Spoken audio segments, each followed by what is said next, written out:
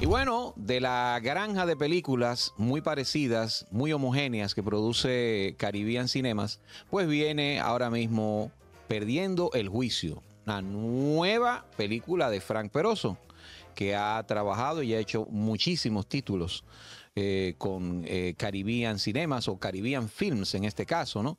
Que también distribuyen las películas y, también pues son la compañía eh, exhibidora más importante del país y la cadena de cines, por supuesto, más importante del país. En esta nueva incursión de la película, en esta película la está protagonizada por Clarisa Molina, esta chica de origen dominicano que triunfa como presentadora en el programa El Gordo y la Flaca, ¿no? Eh, de Univisión. Y también está eh, Chalim Ortiz, que ahora tiene también añadido el Chalín Ortiz guion Goico. Claro. Aprovechando Ah, dos cosas, que es hijo de Charitín Goico, prima a su vez de el legendario Freddy Veras Goico. Entonces, eh, señores, em, la película trata de lo siguiente, ¿no? Son dos exitosos abogados. Parece que la especialidad de ellos es eh, trabajar las separaciones, los divorcios. Eh, son muy exitosos, son muy adinerados por lo que parece. O también como me dijo una vez un abogado, bueno, mira, lo que pasa es que yo ando en esta Lexus, pero hay que armar su lío. Para que el cliente vea que usted tiene, pero mentira, no tengo cuarto nada. El, No el frontero. El fron- Puede Fronteo, ser eso, claro ¿no? sí. Exacto, el famoso fronteo en República Dominicana. Claro. El punto es que ellos eh, tienen, se- se- se- de que se conocen, ustedes saben que son estas comedias de personas que se llevan mal y ustedes saben que van a terminar juntos, ¿no? De eso es que va. Ellos se, se caen mal de una vez, de una forma casi estúpida eh, y tú dices, wow, ya, ya veo la estupidez, van a terminar juntos. Entonces eh, va lo otro que van a, a, digamos, acercarse porque una pareja de esposos que tiró para adelante son arroceros, son originarios de Sabaneta, en el Cibao, eh, pues tienen un pleito. Un supuesto, eh, un supuesto ahí rumor de infidelidad de uno de los dos, pues tiene a la, a la- a la pareja, digamos, crispada, ¿no? Y están ya prestos a separarse. Y entonces cada uno de estos abogados va a tomar un bando. Va a ser, va a ser abogado de uno de los bandos. Eh, el personaje de Chalim Ortiz, de el, hombre, que es Kenny Grullón. interpretado por Kenny Grullón, y la mujer, que es interpretada por, eh, ¿cómo se llama? Chedi García. Entonces, por ahí va el filme, ¿no? Eh, por ahí es que va a discurrir el asunto. Llega también un personaje eh, un tanto tonto, eh, un supuesto asistente que llega a, la compañía de abogados de- del personaje de Clarisa Molina, eh, de una forma ahí, por un accidente de un asistente, del asistente de la empresa, y él llega como el asistente sustituto. Y este personaje, pues, eh, va a incidir mucho en que estos protagonistas, sobre todo, ¿verdad? Clarisa y Chalim, vayan acercándose cada vez más por un hecho, eh, digamos en este caso, fantástico. Hecho que nos recuerda a otras películas, ¿no? De, de como, qué sé yo, Bruce Almighty, que interviene Dios, interviene en algo, hay intervención divina, o de ángeles. Eh, ahí también tenemos muchísimas películas sobre el tema de ángeles. Eh, está la famosa, está las alas del deseo de Wim Wenders, pero yo no quiero ofender tampoco a Wim Wenders, pero de ahí es que va más o menos, para que tengan una idea. O de aquella película del futbolista que, que muere, va al cielo y creo que vuelve cambiado, que es el personaje de Warren Beatty en, en Heaven Can Wait. Pero por ahí va, ¿no? Esa, digamos, digamos que esa es más o menos la, la- la categorización de la película, nada que ver con lo que yo acabo de mencionar. No es que Heaven Can Wait es una obra maestra, pero bueno, pero bueno. Frente a esto, yo creo que eh, es mucho, ¿no? Es como el cielo y, cielo y la tierra. Eh, ¿Qué pasa con este filme, compañeros? Es que definitivamente uno no quiere pedir que sea Hal Ashby que ruede una película así, ¿no? Con esas prestaciones, porque es una película de fórmula, ¿no? Todo genérico, su diseño de producción, que es de Giselle Madera, que tiene muchísimo talento. Obviamente está trabajando con, una, con un cierto nivel de encargo. Uno lo puede comprender. Pero por lo menos lo que yo pido es que dense un poco más de tiempo, sobre todo desde el punto de la preproducción. Ensayen un poco, porque los el, Chalim y, Clarisa ni no, parecen siquiera enemigos. Ni enemigos. ni, rivales. ¿Tú entiendes? No, no, no hay, o sea, tú no, tú ni en ningún momento tú crees la tensión que ellos eh, viven, ¿no? Porque es tan disparatado el asunto y tan poco creíble eh, el hecho de cómo se caen mal, casi de forma mágica, que, que no da pie a nada. Em, eso se llama Insta Love. tú, tú puedes decir que, por ejemplo, con películas como Quién manda, sí, protagonizada entonces, ¿no? Por Fran Peroso y, y, Nash, Labogar, pues tú tenías, bueno, una película también genérica, una película de fórmula, pero eh, se toma más tiempo, ¿no? Y la trama tiene más soltura de alguna manera. Y, aquí todo es, todo es bien rápido, todo es acartonado, todo es eh, muy rápido. Yo no sé cómo se llama el personaje que es un influencer venezolano. Ah, Marco. Marco. Eh, Marco, no es actor. No, para nada. Y, hay personas que no son actores, no son actrices y, y brindan cosas brillantes. Ahí que yo hablo del tiempo de lograr Quizás con tiempo Marco puede hacer algo mucho más creíble y menos acartonado y menos cliché. Sí. Em, y yo no digo que se trata por falta, de falta de talento. Yo no digo eso. Frank Peroso, cuando está siendo, cuando, cuando hace películas, y ya nos lo, nos lo ha demostrado más de una vez, te puede hacer muy buenas actuaciones, ¿no?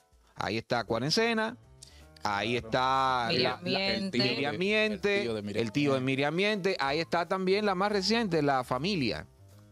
Ah, claro. O sea, él te puede hacer grandes actuaciones. Y uno eh, ha tenido la oportunidad de conversar con Frank Peroso. Y, hace varios años, en un programa que yo, que yo laboraba, pude conversar con él y pude hablar un poco de cine. Él tiene un buen bagaje. Él sabe lo que es bueno y lo que es malo. Sin duda, sin duda. Entonces quisiera ver a un Fran Peroso saliéndose de esa camisa de fuerza que implica trabajar para estas factorías de películas homogéneas de Caribbean Cinemas, la mayoría guionizada por Kendry Janoret González. no sé si la mayoría. González no lo podría Pero algunas guionizadas por ella, ¿eh? algunas guionizadas por ella, por lo menos colado, ¿no? sí, colado, esta y una, una otra que andan por ahí. Bueno, entonces, eh, eso es lo que yo quisiera ver. Quisiera ver fuera de esa, de esa camisa de fuerza a Frank Peroso, que probablemente vaya a ser algo todavía más digno. Yo imagino que eso, eso viene con, una, con un formulario, esa película, y él no tiene demasiada decisión. Él, puede que sea una figura nada más como director ahí, porque son muy parecidas. las estructuras de las películas son muy parecidas. Eh, son comedias románticas, eh, unos personajes que primero se odian y después se aman. Eh, algunas, eh, un personaje gracioso. Excéntrico, sí. Ajá, el, el, comic relief, el famoso comic relief. Y ese tipo de, es como la misma estructura. Y yo venía diciéndole a Edwin de camino para acá que ese cine me parece como la, herencia del cine de nuestro adorado Robertico Salcedo. Diablo líquido. Se parece a eso. Es, es como un cine, como el mínimo esfuerzo, lo que sí tiene como una mayor nivel de producción. Los, los Robertico era más descarado en cuanto a producción, pero esta gente le, se ve que trabajan más los escenarios, la, producción, algunos toques de fotografía, más paisaje que otra cosa, pero está ahí y se puede notar. Pero en cuanto a lo demás, y actuaciones, eh, estructura de personajes, tú, no tienes ni idea de dónde viene cada esa gente, cuáles son sus motivaciones. Aunque sea un clavito, eh, se le puede incluir todo eso y te le da más formalidad a la película y, mejor resultado final. Porque, por ejemplo, eh, Ortiz tiene de, de, galán lo que yo tengo de, titiritero. Yo, yo no sé, no le, no le veo lo, galán por ningún lado. Ese, la, cara de aflicción que él tiene en, el 99% de la película Eso, eso yo no me lo creo. La lucha contra la corrupción es más creíble que esa cara que él tiene. Y mira que esos sí son buenos Eh, actores. sí, sí. Es- esa cara no, no me la creo. Esa- siempre está como, ah, como afligido. Y yo, pero ¿y qué es lo que le pasa a ese muchacho? Sin embargo, tú sabes que eh, esta muchacha Molina, ella, ella fluye bien actuando, pero, sí. pero no como abogada. Ella, ella, ella es natural frente a la cámara. Sin embargo, el personaje de ella como abogada, como que no me lo, no me lo creí. No, no, para nada. Sí, es decir, que ella, ella pudiera hacer papeles bien naturales, bien fluidos.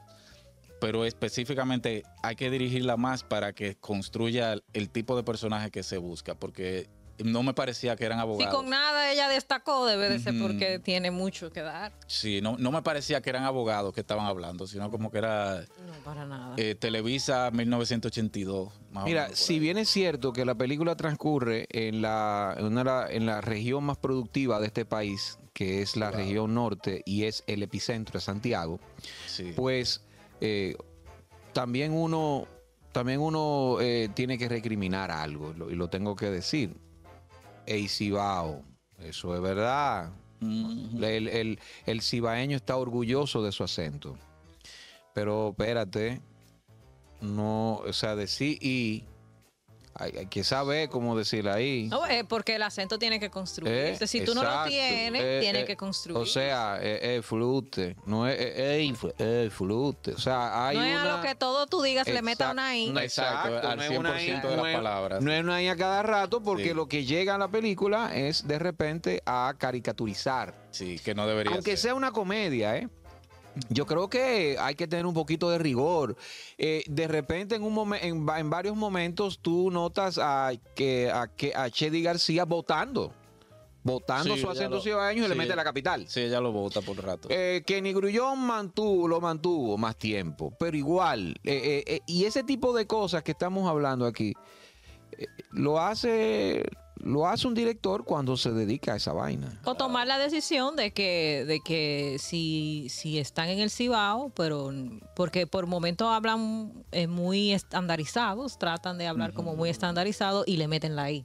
Yo creo que sí hay que dar, sí, a mí me pareció interesante los primeros minutos cuando me di cuenta que la película iba a ser en Santiago. Yo dije, oh, mira, qué novedad. Y, y es una urbe muy bonita eh, y tiene mucho atractivo y es diferente, ¿no? Exacto. Salirnos nosotros de, de este caos que le llaman Santo Domingo.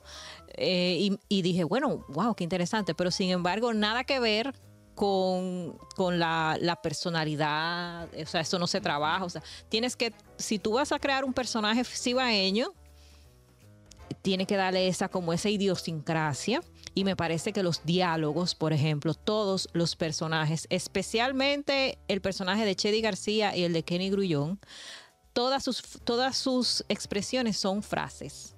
Ajá, son refranes. Son como Así mismo, refraneados. así mismo. Todo el tiempo que es, claro, una parte muy, muy importante de nuestra idiosincrasia, que uno siempre vive diciendo su par de refranes, ¿verdad?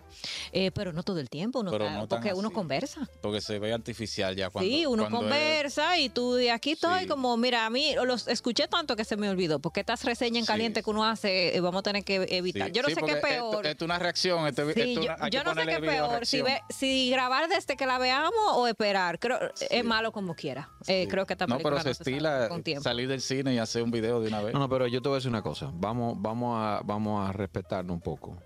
Esto uno, esto es una reacción, como dice José, porque análisis fílmico con esto no se puede hacer mucho, ¿eh? No, pero por También. ejemplo, tú tienes la O sea, referencia no, no de quién que- manda. Por ejemplo, quién manda. Porque Sí, uno, dijo- quién dijo manda fue, ¿qué referencia. fue? Una, pel- una comedia eh, romántica que cumple con su cometido. ¿Cuál es?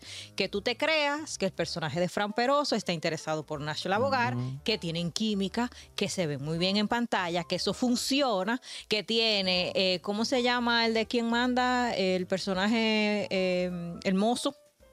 Ah, sí, yo no me acuerdo. de- Pero, no, porque hay una Urbano. parte, no, pero es en, la pa- es en otra parte No, que ese se redita quién manda. Ese no en todas las Esa es otra película. iguales. Todas las mujeres Ajá, son en todas las iguales. mujeres son No. iguales, se redita esa parte que está Ah. el hombre de las mil virtudes. Ah, bueno, pues Sí, estoy sí, pero es el hombre de las Bueno, mil pero virtudes. también toda- Pero hasta ahí también. Sí, pero hay, todas hay las un guiño son- a la hay un guiño a la Sí. película. Pero esa pero película es una comedia y funciona. Sí, todas las mujeres está son- bien, está divertidísima. grabó recientemente Entonces, con tú el Alfa. él. Tú te tienes que creer que Chede y Kenny también son esposos que tienen mucho tiempo, salvo los lugares en donde ellos se desplazan y donde se encuentran. Es lo- la única eh, eh, información que te dan de, dónde- de lo que ellos hacen y el tiempo que ellos tienen juntos es porque te lo dicen. O sea, no transcurre. O sea, la película es súper lineal en ese sentido. Claro. Y no tiene eh, eh, ninguna eh, profundidad. Y el, y el giro que le quieren dar con el asunto angelical, para no dar un spoiler, realmente de esta película. Bueno, el Titanic se hundió. Eh, me parece como forzado. Todo es como forzado. Para que tú veas, irónicamente es forzado y es fácil. Porque eso como, ah, ok. Se fueron por ahí. No, pero que la película te da la impresión de que se reunieron. Vamos a una película, mira, dos abogados. Eh, ya ese estereotipo de la mujer eh, centrada en el trabajo, que está malhumorada, que no quiere hablar con su familia, que solo trabaja, trabaja, trabaja. Yo creo que tienen que dejarlo descansar. Hay que dejarlo descansar. No todas las mujeres somos así. Todo el tiempo. Eh, pueden inventarse otro tipo de mujeres. Existen mujeres felices. es- es- existen muchos tipos de cosas. Señores, piensen, por favor. eh, hagan una lluvia de ideas.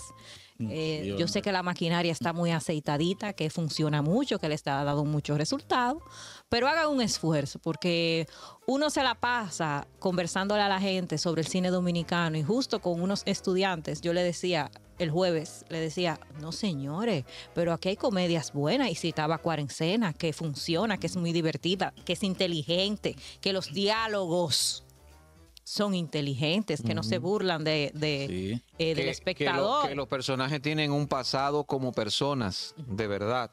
Sí, que tú ves una historia, que hay La una historia, familia, que hay una creación de un mundo, ¿no? De ese, de eso que es el cine, el make believe, el hacernos creer que esa gente se conocen y se gustaron. Ahora, si se van a dedicar a la comedia romántica y al amor instantáneo de la gente que se tropieza y se enamora eternamente, tienen que ver K-dramas. Vean series coreanas para que ustedes entiendan la lógica de esos encuentros, la magia que hay en los roces, la- las miradas distantes eh, y, y el por qué eso tiene tanto significado y tanto éxito. Pero ya que no ven cine, Vean serie. vean series Vean coreanas. Netflix, ¿verdad? Si no, no, vean series coreanas. Si van a hacer historias románticas, señores, ahí hay un público. Ustedes saben de marketing, saben a- darle a la gente lo que le gustan. Vamos a darnos roces, pero inteligente. Que uno entienda que la gente no tiene que dar chuleo, porque ese beso en CXC, wow. Tú Diablo. CXC. Sí, yo la vi en CX. Yo voy a dejar de esa, ¿sabes? Yo di mi cuarto Es por que- eso. Es que, es Yo- que esa es la tanda que está Sin la embargo, Yo busqué Sin la, embargo- la más barata posible. yo Oigan, busqué. sin embargo, sin embargo, eh, quizás nosotros estamos aquí hablando pluma de burro, porque hoy escuché mu- varias risas. Mm. Escuché varias risas, la gente parece que la disfrutó. Y como Ajá. es una película, el Caribbean Cinema dura nueve meses en cartelera, así que la podrá ver. Hay tiempo de ver. Ya lo sabe, está en todas las salas de cine Caribbean Cinemas, la película... eh, Perdiendo ¿cómo- el juicio. ¿Cómo es que se llama? Perdiendo el juicio de Frank Peroso con Clarisa Molina, Charín Ortiz, ahora Goico y una caterva de gente, ¿no? Una caterva de gente y ya lo sabe. Entonces esto es Cine Pendiente RD. Suscríbete, comenta, comparte, dale me gusta.